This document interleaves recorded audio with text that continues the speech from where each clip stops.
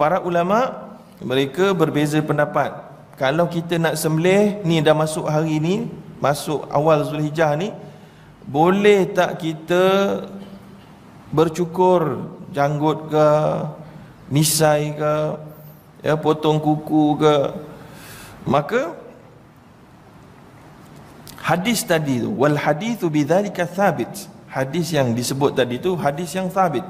Maka menurut pendapat Maliki dan Syafi'i. Ha, tuan-tuan mazhab Syafi'i ke? Ha, dalam mazhab Syafi'i dan mazhab Maliki yakrah dimakruhkan. Tak haram makruh sahaja dibenci. Akhdhu syai'in min sya'rihi wa adfarihi wa harramahu Ahmad wa abahahu Abu Hanifah. Dan mazhab Hanbali kata haram. Oh Hanbali syadid ni. Kan mazhab Hanbali kata tak boleh so maknanya kalau masa tu misai dan masuk kat dalam air pun biar jelah tuan-tuan. Masa tu kalau kuku dah panjang terlebih pun kira biarlah sebab haram kalau kita potong ya.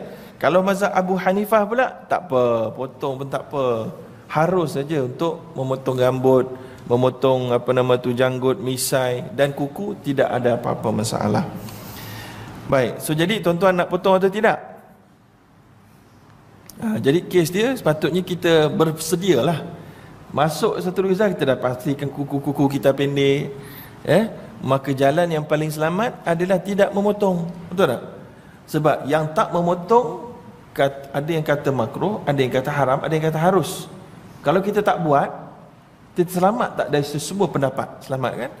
Kalau kita buat, kita selamat ikut Hanafi dan makruh ikut maliki ya dan haram ikut hambali ha, kalau kita tak buat selamat belaka ha, tapi kalau tuan-tuan rasa tak selesa sangat tiba-tiba dah terlupa nak terima awal-awal maka dah masuk tunggu tunggu punya tunggu ya Allah dah panjang sangat kuku ni tak elok makan pun tak sedap buat apa pun tak selesa ha, potonglah tak boleh buat apa lah tu.